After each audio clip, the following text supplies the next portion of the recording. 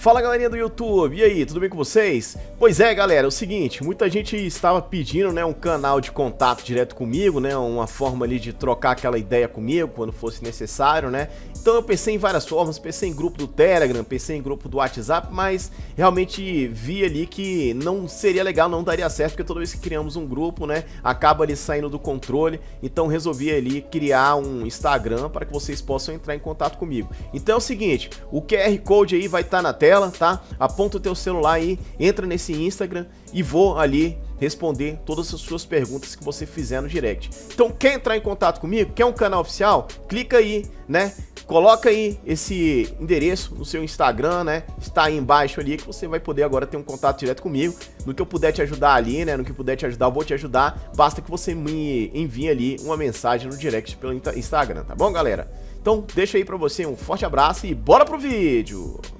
Fala galerinha do YouTube, e aí galerinha das criptomoedas, como vão vocês? Bora para mais um dia, mais um domingão, né? Pois é, mais um dia que está indo embora e mais uma semana repleta de oportunidades está começando. Então bora lá, vamos perder tempo não. Capitalização de mercado das criptomoedas hoje 856 bilhões de dólares, uma alta de 0,18%. Nesse momento você vê o Bitcoin em cima da resistência ali dos 17 mil dólares.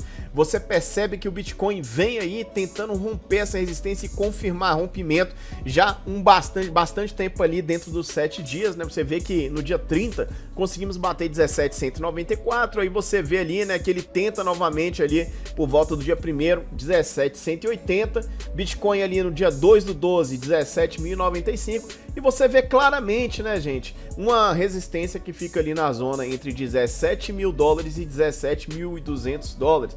Bora ver se o Bitcoin consegue romper essa resistência, confirmar rompimento para poder trazer valorização ou se vai aparecer algo essa semana que faça com que essa criptomoeda caia, né? Olha só, gente, Ethereum nesse momento sendo cotado a 1.269 dólares, uma baixa de 0.10% nas últimas 24 horas, e você vê aí o BNB, né, gente, 290 dólares com a queda de 0.29% né, acumulando ali 6,65% de queda nos últimos 7 dias. Você pode perceber aqui ó, que o gráfico do BNB ele deu uma despegada, vamos usar essa palavra, criar essa palavra nova, né, desapegou ali do gráfico do Bitcoin e do Ethereum, mas infelizmente foi negativo né, esse desapego ali né, que teve em relação do gráfico do Bitcoin e do Ethereum. Você vê nesse momento ali, BNB com possibilidades de queda caso rompa ali né, esse suporte que ele tem de 290 dólares, desvalorizando mais. Aí a situação seria um pouco complicada.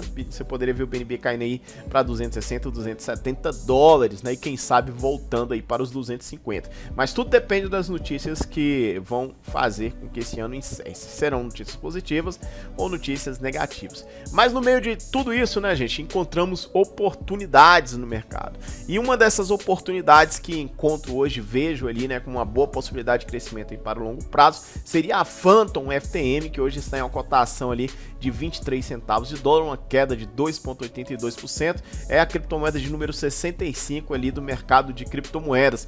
Capitalização de Phantom hoje está na casa de 608 milhões. Você tem um volume de negociações nas últimas horas aí de 89 milhões de dólares e Phantom tem aí 3 bilhões 175 milhões fornecimento máximo ali que seria o seu supply, né? Essa é a criptomoeda Phantom.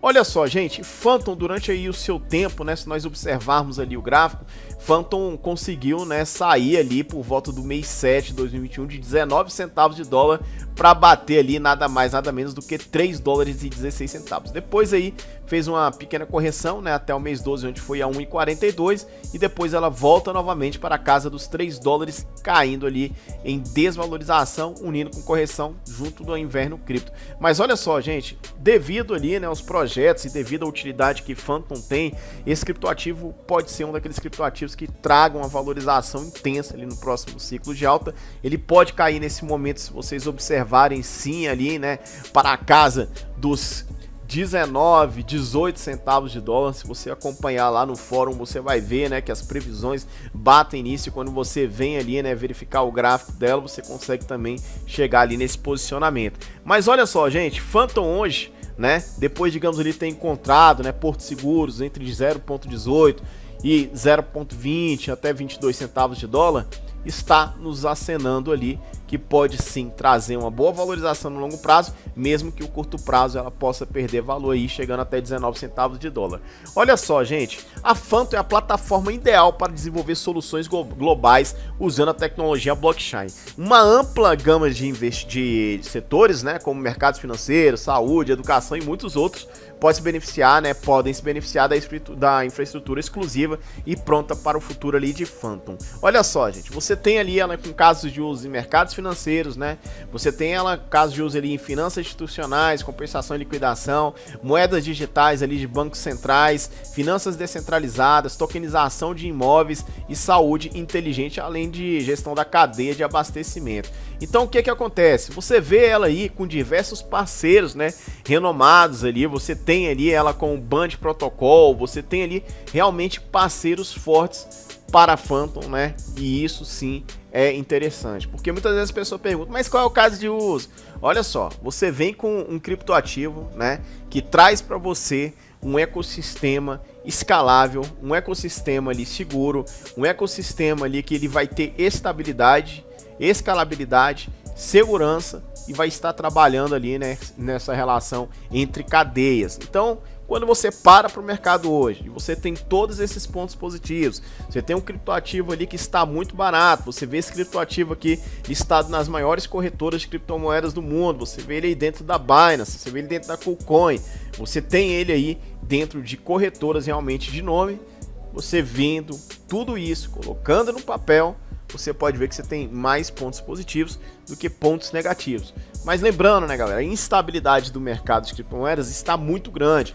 Então, antes dele voltar a subir, né, antes de você pegar e pensar ali no longo prazo, você deve ter ciência de que esse mercado ele acaba trazendo uma imprevisibilidade e você no curto prazo tem uma pequena desvalorização ali de Phantom. Mas sim, acredito que esse seja um dos criptoativos que vale a pena se ter na carteira, porque não me surpreenderia se Phantom batesse ali mil por cento de valorização. Isso mesmo que você está escutando. Lembrando, né, gente, que o último topo histórico ali de Phantom foi na último topo, na verdade, histórico no último topo de Phantom, foi ali na casa de 3 dólares, tá? O topo histórico de Phantom foi na casa de 3 dólares com 16 centavos e você viu ali, né, que ela passou um bom tempo ali desde 2018 amargando ali centavinhos, centavinhos para depois conseguir trazer uma boa valorização.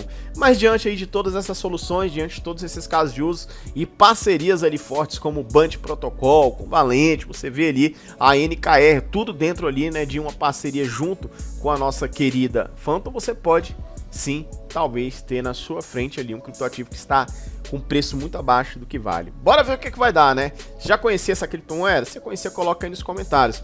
Mas acredito que por longo prazo um criptoativo aí bem fundamentado para montar a sua carteira de diversificação seria aí FTM Phantom. Beleza, galera? Gostou do vídeo? Deixe seu like, ainda não é inscrito no canal, se inscreva no canal. Um forte abraço para você e até o próximo vídeo.